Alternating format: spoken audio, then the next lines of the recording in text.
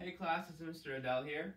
Today I'm going to teach you how to solve perimeter with word problems. So we've done the basics, now we're going to solve word problems dealing with perimeter. So you know the thing I like to do is do the um, three-step approach. It's where you read it once, then read it again, read it for a third time, but we do a different thing each time. So the first time I'm going to read it, I'm going to look at the problem and ask, what am I dealing with in the problem? What is it asking me? What is the problem about? So Noor is buying wood trim to put around her kitchen table. How many meters does he need? Put a question mark there. Okay, so we know we're buying wood trim to put around a kitchen table. So here's my kitchen table. I know I'm trying to put wood around my kitchen table.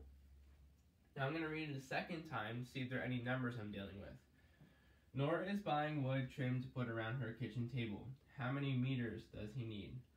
Well, I know that I'm using the term meters, and I see on my picture that I have number 3, number 5, number 6, number 3, but I'm missing one. So I'm going to have to figure that one out, I know, before I start my problem to figure out my whole perimeter. I'm going to read it one more time, and this time I'm going to see how am I going to approach my problem. Noor is buying wood trim to put around her kitchen table.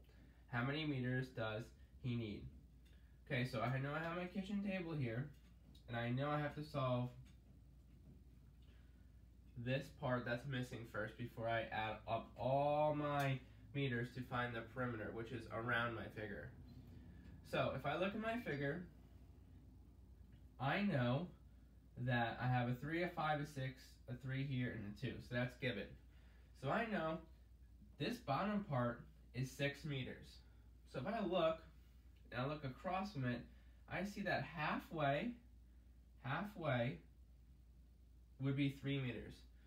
So, if this line would be the same distance as this line, and I went another, if I drew a dot line, and I went another half, it would line up perfectly. So I know that this missing side would have to be 3 meters. So let's say this again. Since I know this was 6 meters, and this was 3 meters, this 3 was halfway from this whole line. So another half would be 3.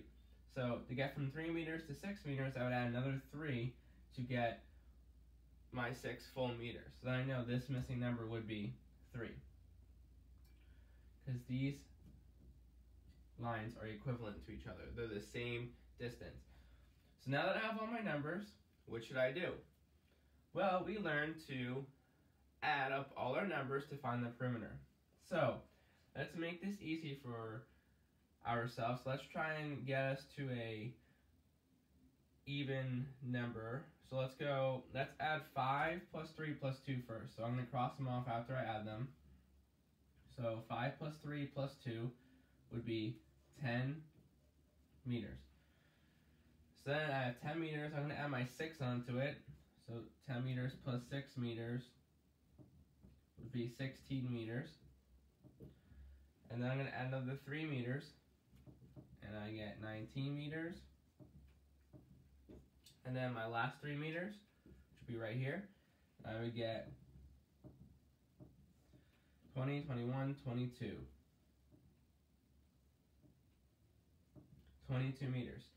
So, how many meters does he need? He would need 22 meters. How did I figure that out? I first solved my missing part, and then I added up all my meters to get my perimeter.